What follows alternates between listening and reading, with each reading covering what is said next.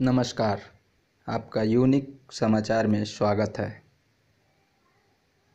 भारत के दसवें सबसे बड़े इकाना स्टेडियम का हुआ नया नामकरण। जी हाँ यह इकाना स्टेडियम लखनऊ में अवस्थित है। सूत्रों की माने तो बड़ी खबर आ रही है कि लखनऊ का इकाना स्टेडियम अब बन गया है Atal Bihari Vajpayee international cricket stadium.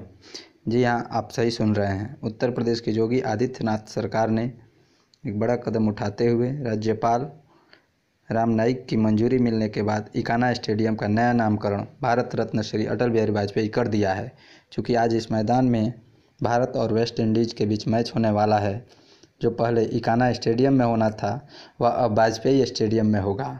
ध्यान देने की बात यह है कि उत्तर प्रदेश की जोगी सरकार जो तमाम शहरों के पुराने नामों को उन्हें सौगात के रूप में देने वाली सरकार का गौरव प्राप्त कर चुकी है, अथवा कुछ पुराने शहरों के नामों को बदलकर विशिष्ट नामकरण कर रही है।